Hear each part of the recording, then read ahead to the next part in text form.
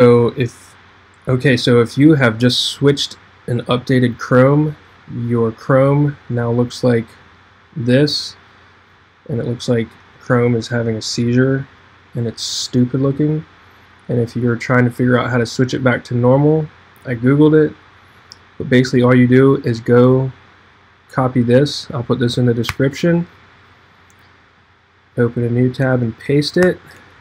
It'll take you to your Chrome settings and right now it's on default. And if you want to hybrid's pretty much uh, the old style but if you want it to be the regular old style hit back on normal. Relaunch.